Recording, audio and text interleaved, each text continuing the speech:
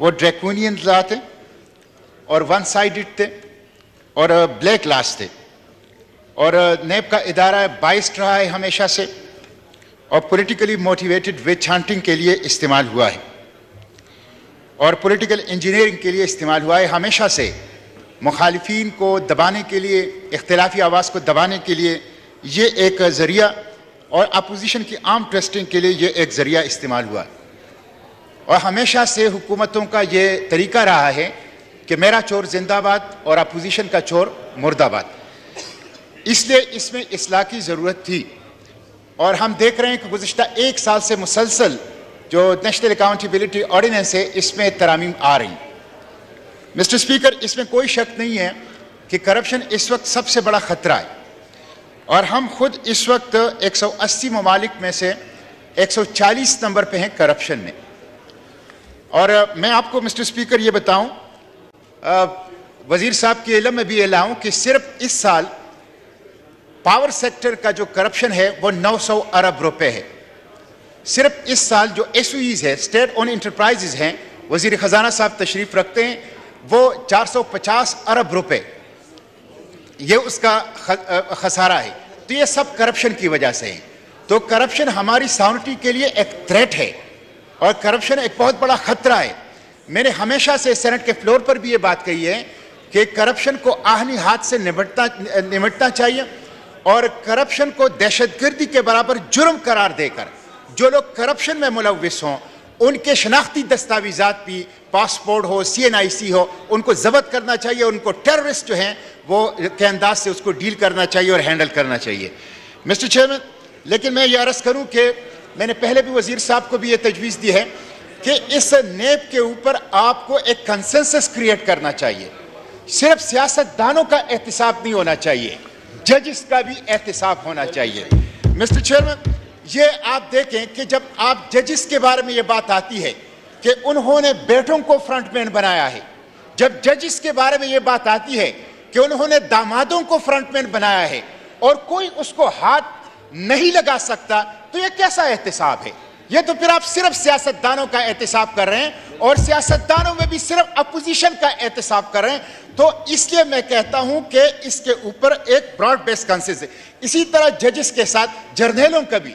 Mister chairman, कोई retired general कभी भी नेब के शकंजे में आया है, कभी एहतसाब के शकंजे में आया है, हमें पता है कि रिटायर्ड जर्नेलों की जो जो असासे हैं जो उनके एसेट्स हैं वो ऐसे हैं कि जिसका कोई अंदाज़ा नहीं है। लेकिन जजेस और जर्नेल ये एहतसाब से बालातर हैं। तो ये बाइस्ड अकाउंटेबिलिटी है ये वन साइडेड अकाउंटेबिलिटी है।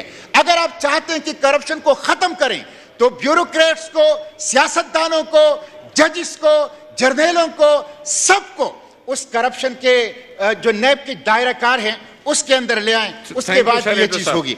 ये जो मैं जी सेनेटर मुश्ताक साहब का माइक जी प्लीज़ कंक्लूड मिस्टर स्पीकर मैं सम, समझता हूँ कि सुनना चाहिए। मेरा ख्याल था कि आप इस पे अमेंडमेंट पे रहे। जब मैं मैं अब ज़्यादा सुनना मिस्टर स्पीकर मैं जो मैं जो मैं जो अमेंडमेंट्स लाया हूँ मैं जो अमेंडमेंट्स लाया हूँ एक उसमें यह है कि आप नेप को ड्रैकूनियन ला ड्रैकूनियन उसको ना बनाए लेकिन उसको टुथलिस भी ना बनाए उसके दांत भी ना निकाले। मैं पहली अमेंडमेंट इसमें यह लाया हूँ कि रिट्रोस्पेक्टिव इफ़ेक्ट के साथ कानून साजी क्वालिटी लिजिस्लेशन नहीं होती। तो ये रिट्रोस्पेक्टिव इफ़ेक्ट मैं ख़त्म करना चाहता हूँ। जो अमेंडमेंट मैंने पेश की है वो ये है कि ये रिट्रोस्पेक्टिव इफ़ेक्ट इसका ख़त्म कर दिया जाए। Thank you ji. Ji mister for law and justice जनाब स्पीकर यही बात मैंने की थी कि ये लॉ जब बना भी तो रिट्रोस्पेक्टिव इफ़ेक्ट के साथ था और जब इसमें तरमीम हुई तो उसी रिट्रोस्पेक्टिविटी को सामने रखा गया। जो बात है कि इसमें जजेज़ और जर्नलों को नहीं शामिल किया गया। हमारा आइन जो है वो चीज़ों को रेगुलेट करता है। जजेस के लिए आर्टिकल 209 का एक मेकनिज़म है, जो कि इस हाउस ने आज भी डिस्कस किया है दिन में। और 209 की मौजूदगी में नैब के हवाले से ये शायद मुमकिन नहीं है। फेयर स्टेटमेंट देनी चाहिए। दूसरा, जो जर्नल्स के बारे में बात की गई तो आपको शायद आपको शायद इल्म हो मुश्ताक साहब को कि ये जब लॉ आया है तो इसमें लोग प्रोसिक्यूट होते रहे हैं। एडमिरल मंसूरुल हक का केस है ब्रिगेडियर इम्तियाज़ के और बहुत सारे केसेस हैं जिसमें वो प्रोसिक्यूशंस हुई और सज़ाएँ भी हुई बरीतें भी हुई। तो रिट्रोस्पेक्टिविटी तक महदूद रखे जो आपने बात की है कि इसको दहशत गर्दी के, के बराबर तस्वर किया जाए मैनस है एंटी करप्शन लेकिन ऑलरेडी हमारे यहाँ मुख्तलिफ़ लॉज मौजूद हैं एंटी करप्शन के, जो कि एफ़ आई ए और सूबाई एंटी करप्शन इस्टेबलिशमेंट्स एक्सरसाइज करती हैं। किसी हद तक मुकामी पुलिस का भी कुछ डोमेन होता है।